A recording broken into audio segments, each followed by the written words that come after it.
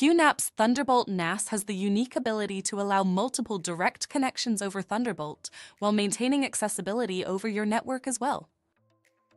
QNAP achieves this by creating IP over Thunderbolt connections. This is ideal for video production applications, especially in instances with multiple editors. In order to easily connect to your NAS, QNAP provides QFinder Pro, which allows you to scan your network and find any available QNAP NAS in your network to connect to. In this tutorial, we will cover how you can access your QNAP Thunderbolt NAS by connecting with QFinder Pro. We'll show you how to download and install QFinder Pro and how to connect to your NAS via Thunderbolt using QFinder Pro. Start by navigating in your browser to qnap.com slash en-us slash utilities slash essentials.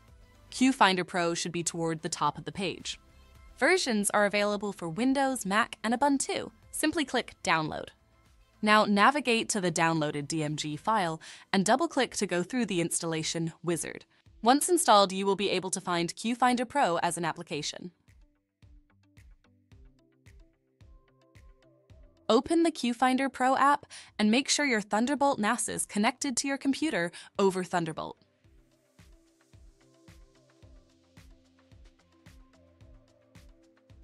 You'll see the Thunderbolt NAS appear in the QFinder Pro window.